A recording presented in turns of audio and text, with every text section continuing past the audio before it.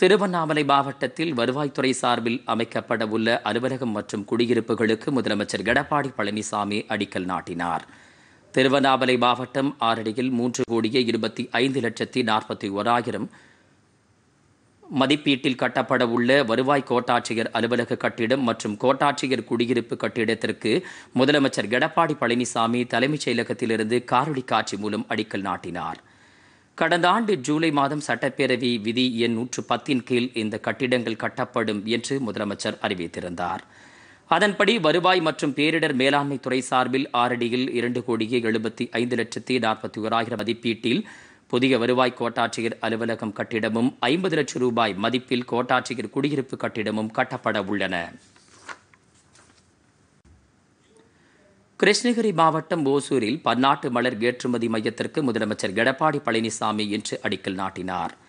இருபது கோடியே இருபது லட்சம் ரூபாய் மதிப்பில் ஏழு ஏக்கரில் இந்த மையம் அமைக்கப்பட உள்ளது. இதையடுத்து நடைபெற்ற கொரோனா தடுப்பு மற்றும் வளர்ச்சிப் பணிகள் குறித்து ஆய்வுக் கூட்டத்தில் முதலமைச்சர் பங்கேற்றார்.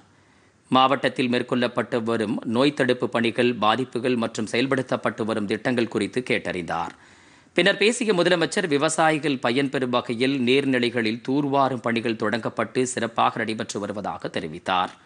இதன் மூலம் விவசாயிகள் அதிக அளவில் பயன்பெற்று வருவதாகவும் அவர் கூறினார். மத்திய மாநில அரசுகளின் திட்டங்கள் உரிய நேரத்தில் மக்களை சென்றடைய வேண்டும் என்றும் அனைத்து துறை அதிகாரிகளும் அரசுடன் இணைந்து செயல்பட வேண்டும் என்றும் முதலமைச்சர் கேட்டுக்கொண்டார். பொதிகை செய்திகளை யூடியூப்பில் தமிழ் நியூஸ் தூர்தர்ஷன் என்ற சேனலிலும் முகநூலில் டிடி பொதிகை நியூஸ் என்ற பக்கத்திலும் ட்விட்டரில் டிடி நியூஸ் சென்னை என்ற பக்கத்திலும் இன்ஸ்டாகிராமில் டிடி பொதிகை நியூஸ் என்ற பக்கத்திலும் காணலாம். மேலும் உங்கள் கருத்துக்களை Pothigai DD news at Gmail dot com என்ற மின்னஞ்சலில் தெரிவிக்கலாம்.